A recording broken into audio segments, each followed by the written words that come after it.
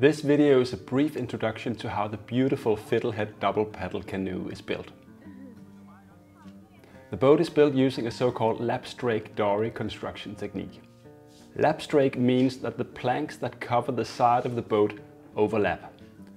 At the overlaps, the plank thickness is almost doubled, which increases the strength of the hull quite dramatically. With lapstrake construction, you can use very thin planking while still getting a very strong hull. This makes it ideal for lightweight boat building. Dory construction means that instead of a keel or a backbone, the boat has a plank bottom. This method is quicker and easier to build than a fully planked boat. This makes it a great place to start for a first-time boat builder. The first steps in the construction process is to get the various structural parts of the boat ready. First I'm building the bottom panel. This panel is glued up from several narrower boards. Then I'm laying it out by taking coordinates from the table of offsets. Then I connect the points with a flexible wooden batten and cut out the shape. Here I'm building the frames. Made patterns for them by pricking through the full-size drawings that are included in Harry Bryan's plans. The frames are made of seven pieces each that are screwed and glued together. The 14 and a half foot two-person fiddlehead canoe that I'm building here has three frames. The shorter, single-person versions of the fiddlehead just have one frame that's placed in the middle of the boat. Now I'm building the watertight bulkheads.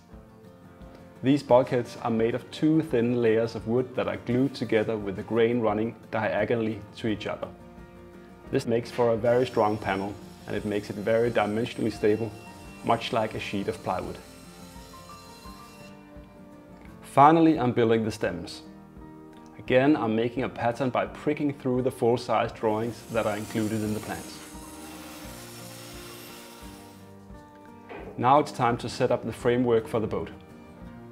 Built a strong back and I've made sure that it's perfectly straight and level. At the middle of it, I've drawn accurate center line.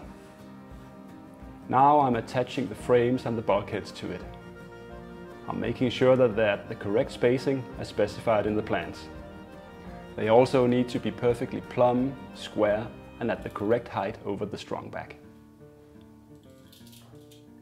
Then I screw and glue the stems to the ends of the bottom panel. The bottom and stems assembly is then placed on top of the frames and the bulkheads. After making sure the alignment is correct, these parts are screwed and glued together. Now it's almost time to start planking up the boat. But first I need to install a shear clamp. A shear clamp is a thin strip of wood that defines the shear line or profile of the boat. It'll be used for fastening the shear plank and the decking to it, which we'll get back to later in this video. I also want to bevel the edges of the bottom panel so that they'll be a good tight fit against the first plank. I'm using a so-called jump stick to figure out how much wood needs to be removed at each frame or bulkhead. Then I'm drawing a fair line between these points using a flexible wooden batten. This is the line I'll need to plane to in order to get the correct bevel all the way. At this point, I'm also adjusting the bevel at the stem so it'll fit the first plank nicely. Again, I'm using my flexible batten to figure out how much wood I need to remove. Now I'm ready to start planking the boat. The boat has three planks on each side. The first one is called the garboard plank. Here I'm making a pattern for the garboards. I'm cutting out some strips of cardboard that I tack onto the frames and the bulkheads. The ends of these cardboard strips mark the width of the plank. I'm also making cardboard patterns for the stem ends of the plank. Then I'm using some thin strips of wood to connect the cardboard pieces. The strips of wood are quite thin, so I'm being careful not to pull them upwards or downwards as I glue them on. I want the strips to fall as easily and naturally as possible onto the cardboard pieces, so I won't get any distortions in my pattern. Now the plank pattern is done and I can take it off. I'm placing it on my planking stock and I try to make it follow the grain of the wood the best I can. I'm making pencil marks at the edges of the cardboard patterns. Then I'm drawing a line through all the points using a flexible batten. I'm cutting close to the line and then I'm doing the last bit of shaping with a block plane. Now I just need to split the board in two to get my pair of identical planks. This is an easy method for me because I have a big bandsaw that's set up for heavy rip cutting. If you don't have this kind of setup, simply using two thinner pieces of wood for the plank pair will work just as well. Now I'm ready to install the garboard planks on the boat. These planks take quite a bit of a twist towards the ends, so I'm steaming them to make them more supple. If you don't have a steam box, wrapping the plank ends in a towel and pouring boiling water over it will most likely work too. Then I'm marking where the garboard and the middle planks will overlap. And at the ends I'm cutting a ramp-shaped rabbet known as a gain. This is necessary to get a watertight fit at the stems. The garboard plank is sealed with a bead of flexible polyurethane caulk. This will strengthen the joint and keep the boat watertight even if the fit isn't 100% perfect and even if the wood swells up in the water and dries out in the sun. With the garboard plank in place, I'm fastening it with bronze screws at the stems, bulkheads and frames. The joint between the bottom panel and the plank is screwed from the stem to the watertight bulkhead and copper riveted in the cockpit section of the boat.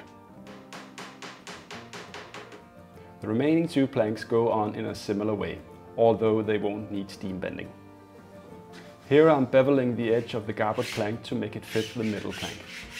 Using a flexible batten and a notched stick of wood to help me get the correct angle all the way. In combination, the batten and the stick act as a placeholder for the middle plank. So if there's a good tight fit under my stick, there'll also be a good tight fit at the plank joint. The middle and the shear planks are fastened with rivets, clinch nails and screws. The shear plank is also nailed and glued to the thin shear clamp. Only the gain areas of the middle and shear planks are caulked to begin with. The rest of the plank seam is caulked after the planking is complete. With all the planking done, I'm trimming off the excess wood of the garboard plank. Now I'm ready to turn the boat right side up.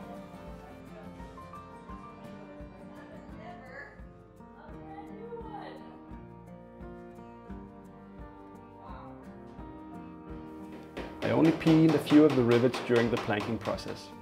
So now it's time to finish the rest. Inside the watertight compartment there isn't room to swing a hammer, so I'm using clench nails there. Now I'm ready to start building the deck framing. First I'm installing the center carlins at each end of the boat. Then I'm installing the long carlins that run parallel with the shear plank. When they're in, I'm fairing the deck structure. I want an even surface with smooth, flowing lines that will fit the decking nicely. The decking consists of two layers. The lower layer are long, narrow covering boards that go all the way from end to end. The covering boards are fastened to the boat with thickened epoxy and bronze ring nails. A thin block of wood is glued under the covering boards where they butt together. Then the upper layer of decking goes on. This layer is supported by the covering boards, the center carlin and by the knees I'm installing here.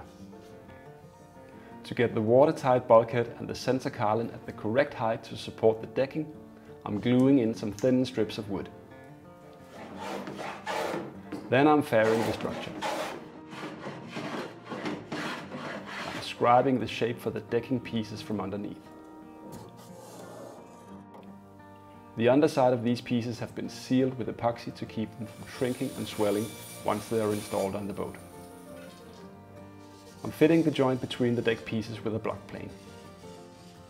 And I'm rounding off the ends. Then I'm fastening the decking, the screws set in a flexible sealant. Now I'm ready to start working on the coaming.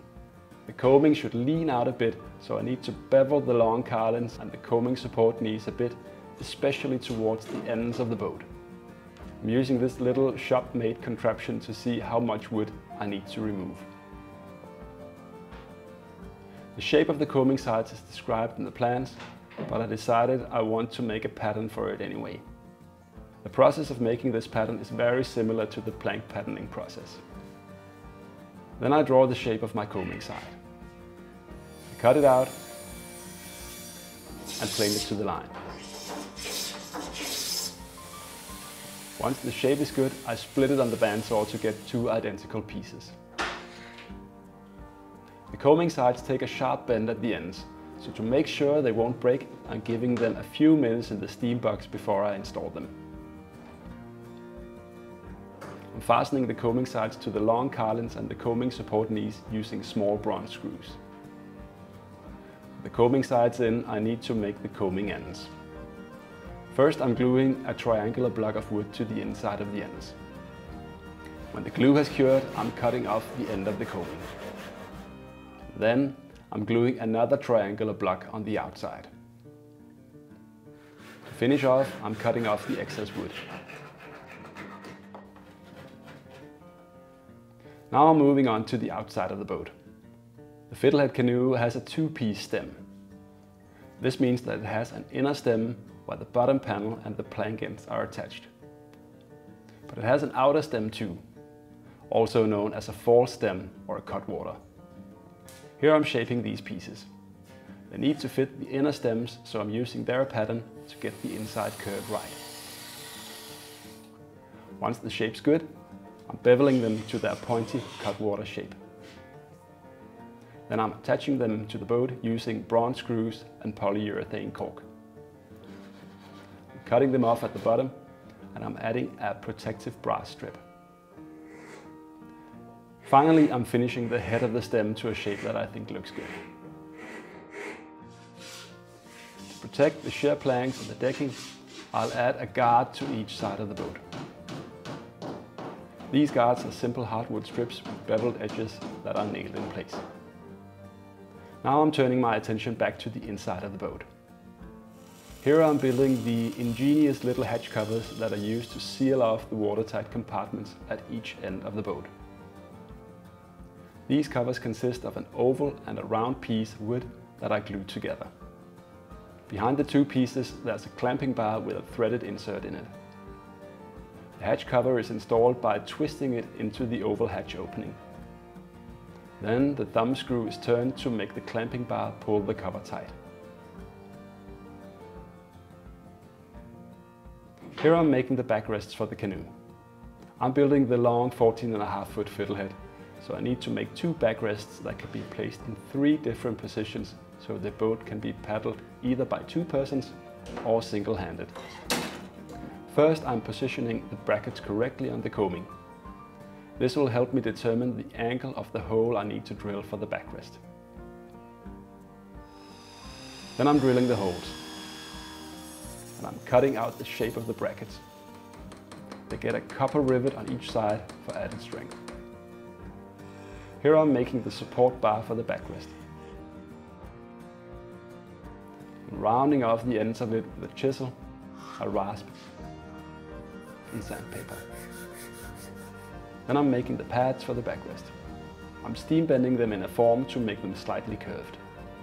I'm attaching the pads to the bar with screws and glue To finish the backrests, I'm bolting the brackets through the coaming sides and the long carlins.